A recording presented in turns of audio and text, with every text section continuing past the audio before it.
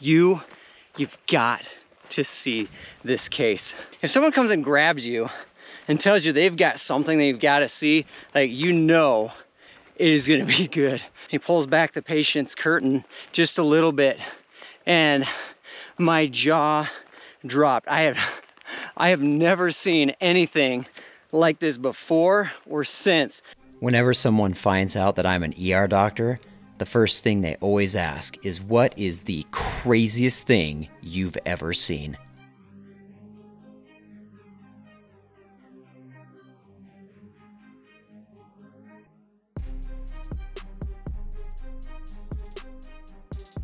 Spartans, welcome back to another episode of Train Spartan, and I've got an exciting new segment for you. I think you're really going to enjoy it. Uh, as the intro said, I am an ER doc, and I often get asked, you know, what is the craziest story that you, you know, craziest thing you've ever seen? And so this first one, it's a good one. It's probably one of my best ones. We'll start you out with an awesome one. It involves a man, his foot, and his best friend. Hope you enjoy. So, this story starts off at the end of a, you know, typical shift worked at a pretty busy hospital, pretty busy ER. Saw a lot of patients. End of my shift, just, you know, getting ready to go home, finishing up some charts. The night doc was already there, seeing some patients. Getting ready to wind down and head home for the next the next shift and Dr. Z, we'll call him, comes and grabs me like, Tyler, Tyler, dude, come here for a second, man. Come here, Tyler. Like, you You've got to see this case. All right, now, Dr. Z is an experienced doc. He's seen a lot of things in his day, like, like the rest of us have. So, if someone comes and grabs you and tells you they've got something that you've got to see, like, you know it is gonna be good. Like, all right, all right, Dr. Z, what you got? See, see how me over. Okay, come here, come here. Let's get up by where the patient is and he he pulls back the patient's curtain just a little bit. And and this is what I saw. And my jaw dropped. I have I have never seen anything like this before or since. And I was like dude what the F man? What what happened? And so I mean it looked like something out of a horror movie right? Like oh my goodness.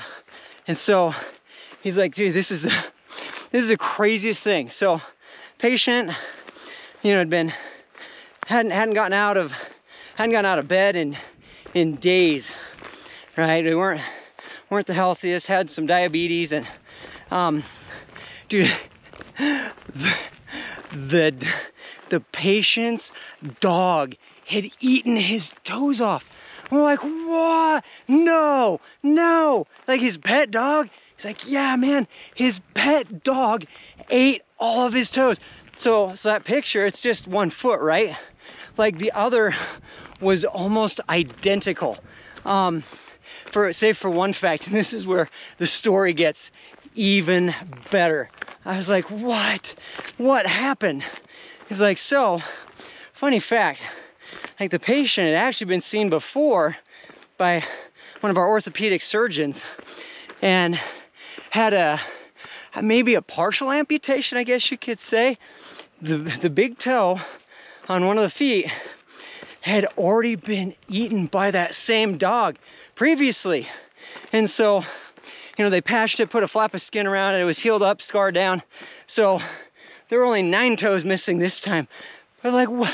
Wait, so like, so this guy's dog, so Fido, gets hungry, eats his toe, and then several months later comes back and finishes the job. Like that was the same dog. He's like yeah man. Like it was the same dog. Came back and ate all the rest of their toes off. I was like dude what like if i mean i, I maybe maybe i'm unreasonable but i'm like if my dog that lives in my house and has access to my feet like already took one toe like I think I'm probably gonna get rid of the dog. You know, maybe, give it to an animal show. Like I don't know, but but then, holy cow, dude!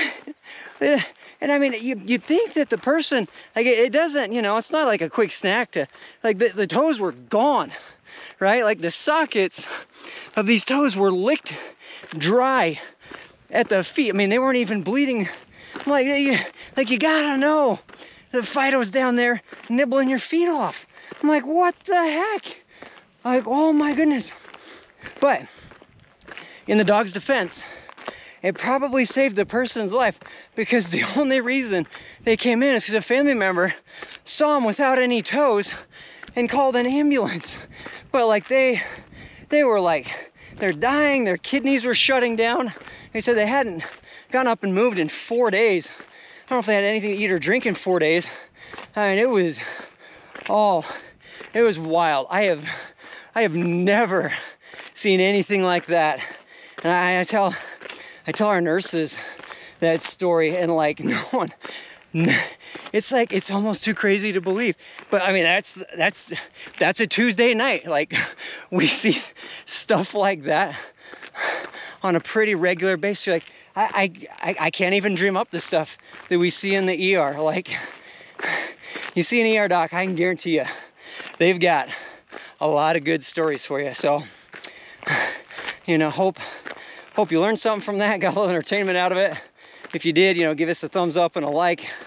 Uh, I guess the moral of the story is, you know, feed your dogs well, and uh, you know, maybe if they take off one toe, it might be a sign it's time to get a new dog. Just, just a thought, but take care, guys.